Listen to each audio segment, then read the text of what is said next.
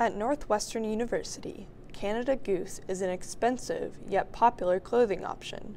We set out to discover why this is. Jacob Choriz, a student at Northwestern, recently produced a short documentary exploring the brand's presence on campus. We spoke to him to find out more. So for most people who just wear the coats, it's as if it's it's nothing. It's just like kind of what they've done through their life. They get the the it item, right? While to people who don't own the coats, it's like this strange culture of the haves and the have-nots. I mean, we live on a campus where like five months of the year it sucks, right? So when you're seeing these coats all the time, and it's it's really just like this constant reminder of the stark differences between like different students on the campus. John Jen is a sophomore at Northwestern who had some light to shed on Canada Goose and Northwestern students.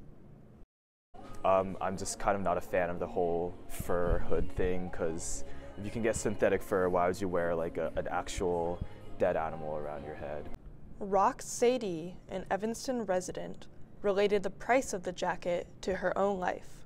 I don't know. I just, I don't know. I wouldn't be able to spend $900 on a coat. I just, yeah, I guess I would think that there are better, better things to spend on, but that's me. Right? Yeah.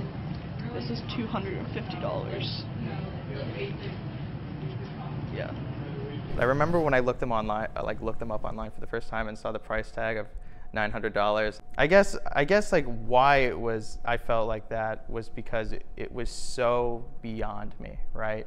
It's so and as someone who feels constantly surrounded by people who are beyond them in that sense, there is this sincere feeling of some form of inadequacy almost. This is Brooke Fowler from Medill signing off.